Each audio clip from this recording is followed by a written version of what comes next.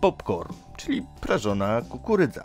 Według odkryć archeologicznych na terenach obecnego Meksyku prażenie kukurydzy mogło być jednym z pierwszych sposobów jej przyrządzania. Prażenie kukurydzy było znane także wśród Azteków, Inków i innych plemion Indian północnoamerykańskich. Na stanowiskach archeologicznych w Peru znaleziono resztki prażonej kukurydzy z 4700 roku przed naszą erą.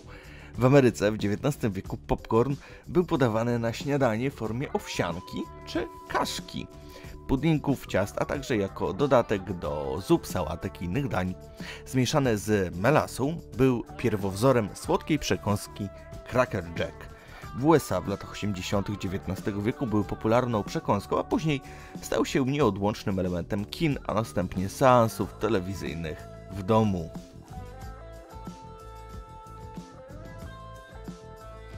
Donut, czyli rodzaj wysmażonego na głębokim oleju wyrobu cukierniczego w kształcie zbliżonym do torusa, czyli oponki, często z polewą. No, amerykańska wersja naszego pączka. Po prostu. Istnieje kilka teorii tłumaczących pochodzenie donatów.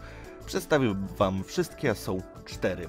Pierwsza mówi, że został wynaleziony w Ameryce Północnej przez holenderskich osadników. Faktycznie, w XIX wieku donaty były opisywane jako rodzaj oliebola, czyli słodkiego ciasta smażonego w tłuszczu. Druga teoria mówi, że w 1847 roku Hanson Gregory, kiedy miał 16 lat, wynalazł obecny kształt donatów.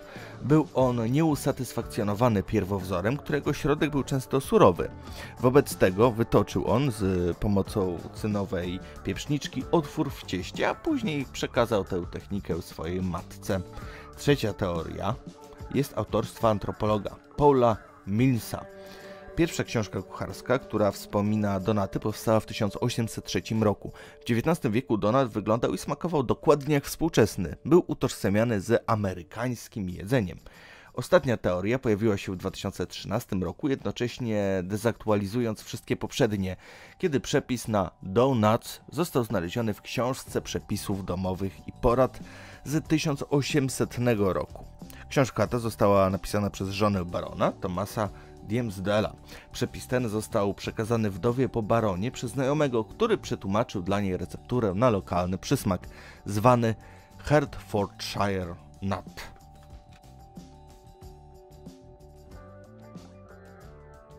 Frytki. Dokładnie nie wiadomo kiedy usmażono pierwsze frytki, natomiast istnieje legenda w jakich okolicznościach doszło do ich powstania. W mieście Dynat, leżącym na terytorium Belgii, głównym pożywieniem mieszkańców zimą były małe rybki z pobliskiej rzeki, smażone na oleju. Jednak w pewnym roku mróz był na tyle duży, że rzeka zamarzła, przez co ludzie stracili źródło pożywienia. Tak się przy okazji składało, że już od XVI wieku w kraju produkowane były ziemniaki kiedy zastąpiły ryby i w ten sposób powstały pierwsze frytki. Potrawa stała się coraz e, popularniejsza i na jej fali w roku 1857 powstał pierwszy bar z tym daniem. Do wyboru były frytki małe i duże, zwane uns ras i uns casque. Czy to jest prawda nie wiadomo? Prawie że pewne jest, że zostały wynalezione w Belgii. Hamburger, czyli typowe danie fast food, wynalezione oczywiście w Stanach Zjednoczonych. Hamburgera wymyślił w 1904 roku garncarz Fletcher Davis. Podejmował się on gotowania podczas wystaw garncarskich, a także prowadził bar w Teksasie. Zaproponował on swoim gościom mielony kotlet na grzance z sałatą, musztardą i majonezem. Tak powstał pierwszy burger. Później zaczęły powstawać lokale, na przykład jeden z najstarszych lokali serwujących hamburgery w USA to restauracja Louis Lunch w New Haven w stanie Connecticut, gdzie mięso jest pieczone na kilkudziesięcioletnich żeliwnych grillach gazowych i serwowane na chlebie tostowym, ewentualnie z plastrem pomidora i cebuli, natomiast bez ketchupu. Hamburger stał się niezwykle popularny w całych Stanach Zjednoczonych, gdzie stał się tak naprawdę potrawą kuchni domowej, chętnie przyrządzaną zwłaszcza w trakcie przyjęć na wolnym powietrzu, najczęściej jednak jadane w barach podając jedzenie typu fast food. Oczywiście najpopularniejsze to McDonald's i Burger King. Zapiekanka I tutaj uwaga, jest to polski fast food. Powstały w latach 70. XX wieku w okresie Polskiej Rzeczypospolitej Ludowej, przygotowywany i sprzedawany również w późniejszym okresie. Pierwotnie serwowany w formie podłużnej bułki z farszem cebulowo-pieczarkowym okraszonym serem. Jest to rodzaj gorącej kanapki podawanej głównie z pieczarkami, jak wiecie. Warto wiedzieć, że zapiekanka to jest właśnie polski fast food wymyślony przez Polaków. Kebab, czyli turecka potrawa. Określenie obejmuje ponad 20 odmian tej potrawy. W Polsce słowo kebab oznacza zazwyczaj doner kebab, czyli obracające się pieczone mięso, czyli danie kuchni tureckiej w postaci odpowiednio doprawionego mięsa baraniego. Ze względu na ceny baraniny oraz preferencje smakowe Polaków, mięso w polskim kebabie to zwykle wołowina lub kurczak, jedynie z dodatkiem baraniny. Nie może to być mięso wieprzowe, co wynika z halalu.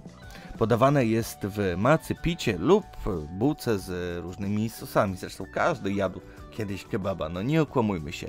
W krajach arabskich, Armenii, Izraelu i Iranie słowo kebab oznacza najczęściej nie doner kebab jak w Polsce, lecz sis kebab, czyli pieczone mięso na szpikulcu, czyli szaszłyk z pieczonego, mielonego mięsa.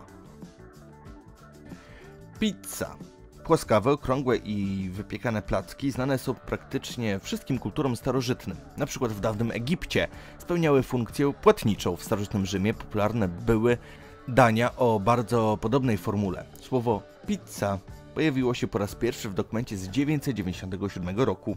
W XVII wieku mianem pizzy określano wypiek przyprawiony bazylią i serem.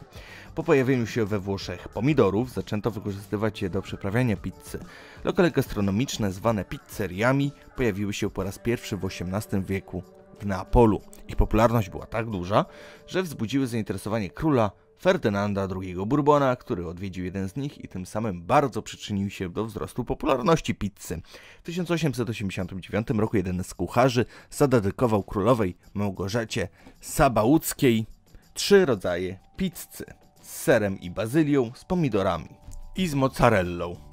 Ta trzecia najbardziej przypadła do gustu królowej i od jej imienia właśnie ta pizza nazywa się Margarita. Chociaż wariant z mozzarellą na pewno znany był i spożywany wcześniej, Później jednak z Napolu pizza trafiła do Stanów Zjednoczonych, gdzie wypiekano ją już pod koniec XIX wieku. W północnej części Włoch spopularyzowała się jednak dopiero po II wojnie światowej dzięki robotnikom z południa emigrującym za pracą w północne rejony kraju. Także ciekawostka, pizza była popularna wcześniej w Stanach Zjednoczonych niż w północnych Włoszech.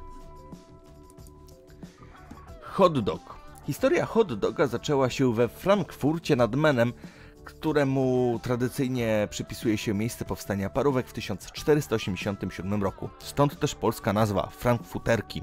Inna wersja głosi, że parówki wynalazł Jonathan Garhenger, rzeźnik zawodu, który około 1600 roku wynalazł parówki zwane Deutschhunds, czyli jamnik, z którymi potem powędrował do Frankfurtu. Następny etap wiąże się z przybyciem do USA imigrantów z różnych państw. Wśród nich byli także rzeźnicy z Niemiec, którzy w 1871 roku otworzyli na Coney Island pierwszą budkę z hot dogami. Wtedy jeszcze w bułce mlecznej. W ciągu pierwszego roku sprzedali ponad 3,5 tysiąca takich dań. Wtedy jeszcze nie nazywali tego hot dogami. Niektórzy twierdzą, że przed Feldmanem już około 1860 roku bliżej nieznany Niemiec tworzył budkę z podobnymi potrawami. W 1893 roku nastąpiła popularyzacja hot doga. Inna wersja twierdzi, że hot dogi, e, takie jakie znamy dziś, powstały dopiero w 1904 roku ze sprawą Bawarczyków. Burrito czyli potrawa pochodząca z Meksyku, bardzo popularna jako fast food na kontynencie amerykańskim, w Polsce mniej, ale za sprawą kina dowiadujemy się o czymś takim. Zgodnie z meksykańską tradycją w okresie rewolucji meksykańskiej pewien człowiek imieniem Juan Mendez sprzedawał na ulicy tacos jako środka transportu używając osła. Aby jedzenie zachowało ciepło, Juan wpadł na pomysł, aby owijać żywność w duże, domowej roboty tortille. Odniósł spory sukces z różnych miejscowości na całej meksykańskiej granicy przybywali konsumenci szukając jedzenia z burrito, co zostało ostatecznie przyjęte jako nazwa gęstych, dużych tacos. Burrito są tradycyjną potrawą meksykańską i właśnie w Meksyku można zjeść burrito. Tak samo bardzo popularne jest to danie na południu Stanów Zjednoczonych, gdzie Meksykańcy sprzedają to zarówno swoim rodakom, jak i obywatelom Stanów. Szaszłyk. Potrawa składająca się z kawałków mięsa nadziewanych na szpikulec. Szaszłyk jest tradycyjnie spożywany w krajach centralnej Azji i najprawdopodobniej stamtąd się wywodzi. Jest także popularną potrawą w Izraelu. Został tam przywieziony przez emigrantów z Rosji. Także początków szaszłyków właśnie trzeba szukać w krajach arabskich czy też żydowskich, ewentualnie w dalekiej Rosji. Skąd się jednak wziął? Tego niestety na 100% nie wiemy. Dzięki za obejrzenie do końca. Mam nadzieję, że ten odcinek Wam się podobał. Dajcie znać w komentarzu, o czym chcecie kolejną dyszkę i zapraszam Was na moje dwa pozostałe kanały, a to ciekawe oraz światową historię. Trzymajcie się, cześć!